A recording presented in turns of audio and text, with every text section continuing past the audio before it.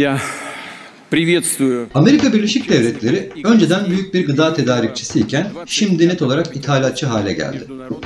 Avrupa Birliği siyasi egemenliğini kaybetti. Avrupa'da halkın gerçek çıkarları kenara atıldı. Kendi nüfuslarına zarar veriyorlar. Bu durum bölgede radikalizme ve elitlerin değişmesine yol açacak. Avrupa Birliği Rusya'ya yaptırımları nedeniyle küresel rekabet gücünü kaybetti. Batı'nın planı Rus ekonomisini küstahça yok etmekti. İşe yaramadı. Rusya'ya yönelik yaptırımlar akılsızca ve üzerine düşülmemiş. Amacı Rus ekonomisini şok etkisiyle ve kısa sürede çökertmekti. Fakat başarısız oldu. Rusya küresel olarak artan gıda fiyatlarının sorumlusu değil. Amerika Birleşik Devletleri para basarak gıda fiyatlarını yükseltiyor gıda tedariği konusunda diyaloğa hazırız.